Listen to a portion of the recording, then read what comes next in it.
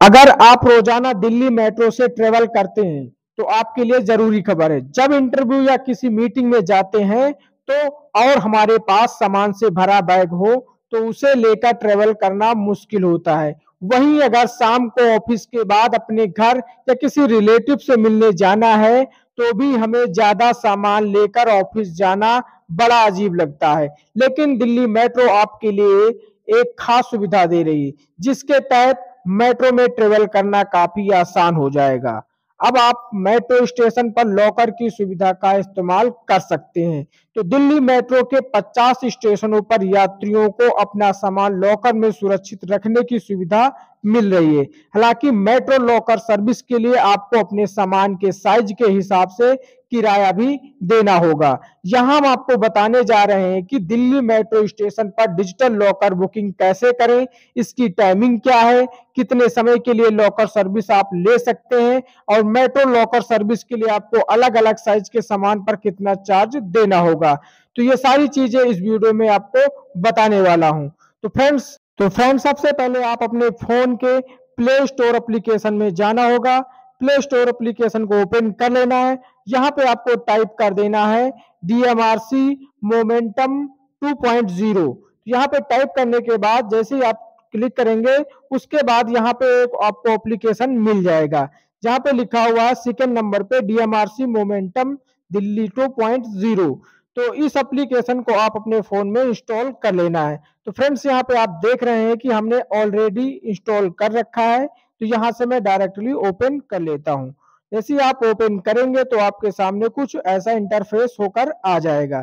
तो यहाँ पे आपको साइन इन करना होगा। तो साइन इन करने के लिए फ्रेंड्स यहाँ पे कॉर्नर पे साइन इन का ऑप्शन मिल जाएगा। तो यहाँ से आप अपना मोबाइल नंबर को फिलअप करना होगा। तो चलिए मैं यहाँ पे अपना मोबाइल नंबर फिलअप कर लेता हूँ। यहाँ पे मैंने अपना मोबाइल नंबर फिलअप कर दिया उसके बाद रिक्वेस्ट ओटीपी के ऑप्शन पे क्लिक कर देना है। जैसे आप क्लिक करेंगे तो आपके एक मोबाइल नंबर पर ओटीपी नंबर जाएगा, उसको यहाँ पे फिलअप करना होगा। तो यहाँ पे हमारा जो ओटीपी सबमिट कर दिया है। उसके बाद जैसे आप सबमिट करने के बाद जो आपका ऐप है, वो लॉगिन हो चुका है। लॉगिन होने के बाद कुछ आपके सामने ऐसे इंटरफेस होकर आ जाएगा। तो यहाँ पे आपको कई सारे ऑप्शन मिल जाएँगे। तो यहाँ पे सबसे मेट्रो सर्विस के सेक्शन में यहाँ पे रेंट एंड लॉकर तो ये ऑप्शन मिल रहा है चौथे नंबर पे तो इस पे आपको क्लिक कर देना है। जैसे आप क्लिक करेंगे तो आपको सेकेंड स्टेप में यहाँ पे आपके सामने कुछ ऐसा इंटरफेस होकर आ जाएगा। तो यहाँ पे आपको नेक्स्ट वाले बटन पे आपको क्लिक कर देना है।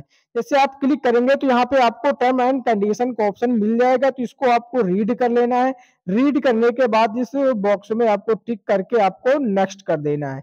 जैसे आप नेक्स्ट करेंगे तो यहाँ पे आपको सिलेक्ट लॉकर एंड डेट तो यहाँ पे आपको डेट और स्टेशन सिलेक्ट करना है। तो आपको किस स्टेशन पे लॉकर लेना है? तो यहाँ पे आप 50 स्टेशनों के नाम दे रखे हैं। तो यहाँ से आप अपने स्टेशन का नाम सिलेक्ट कर लेना है। सिलेक्ट करने के बाद आपको यहाँ पे डेट भी सिलेक्ट कर देना है, जिस डेट में आपको लेना है। उसके बाद यहाँ पे आपको कितने घंटे के लिए लेना है? फ्रेंड्स मैं आपको बता दूँ कि यहाँ से आपको एक से लेकर छह घंटे तक आप लॉकर सुविधा ले सकते हैं। तो यहाँ पे आप कितने घंटे के लिए लेना चाहते हैं, यहाँ पे आपको सिलेक्ट कर देना है। उसके बाद आपको लॉकर साइज़ जो आपको लॉकर कितना सामान रखना, उसके साइज़ के हिसाब से आपको यहाँ पे सिलेक्ट करना होगा। जैसे स्मॉल स्मॉल लॉकर लेना है तो आपको बीस रुपए पर घंटे के हिसाब से आपका चार्ज लगेगा। अगर आप मीडियम कैटेगरी का लॉकर लेते हैं तो आपको तीस रुपए पर घंटे का हिसाब से आपको चार्ज लिया जाएगा। उसके बाद अगर लॉर्ज, यानी कि बड़ा लॉकर लेते हैं तो आपको चालीस रुपए पर आवर्स के हिसाब से चार्ज लिया जाएगा। तो जैसे आपके अकॉर्डिंग आपको जितने साइज़ का लॉकर लेना है, यहाँ पे आपको सिलेक्ट कर लेना है। उसके बाद फ्रेंड्स, यहाँ पे आपको स्लॉट अवेलेबल है। यहाँ पे आपको टाइमिंग, किस टाइमिंग में आपको कितने टाइम से कितने टाइम में आपको रखना है। जैसे आपको यहाँ पे दे रखा है कि दो बज के दो बजे से लेकर के चार बजे तक। यहाँ पे आपको यानी कि दो घंटे के लिए रखना है तो यहाँ से आप अपने टाइमिंग को सिलेक्ट कर लेना है कि कितने बजे मुझे अपना सामान को रखना है। तो यहाँ पे मैं टाइमिंग को सिलेक्ट कर देता हूँ। सिलेक्ट करने के बाद फ्रेंड्स यहाँ पे जो टोटल पेमेंट अमाउंट आएगा वो चालीस रुपए, यानी कि हमने दो घंटे के लिए लिया था, वो भी स्मॉल लॉकर तो यहाँ पे टू आवर्स के हिसाब से चालीस रुपए का अमाउंट पे करना होगा। यहाँ पे पेमेंट प्रोसीड टू पे के ऑप्शन पे आपको क्लिक कर देना है। जैसे आप क्लिक करेंगे तो यहाँ पे आपको तीन ऑप्शन दिए हैं।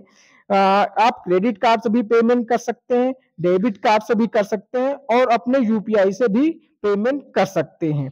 तो फ्रेंड्स यहाँ पे यूपीआई के पेमेंट के ऑप्शन पे क्लिक करके यहाँ पे आप अपना यूपीआई आईडी डाल करके वेरीफाई एंड पे कर देना है। जैसे आप अपना पेमेंट कर देंगे तो आपको एक पिन जनरेट होगा। उस पिन जनरेट अपने पिन को अपने पास रख लेना है।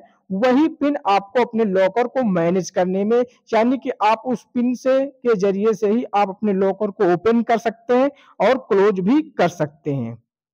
तो फ्रेंड्स ये जानकारी आपको कैसी लगी? अगर आपको वीडियो अच्छी लगी हो तो प्लीज़ लाइक कीजिएगा। और अपने दोस्तों में भी शेयर कीजिएगा। ऐसी लेटेस्ट वीडियो देखने के लिए हमारे यूट्यूब चैनल को सब्सक्राइब कीजिएगा। मिलते हैं किसी एक नेक्स्ट वीडियो में। तब तक के लिए बाय बाय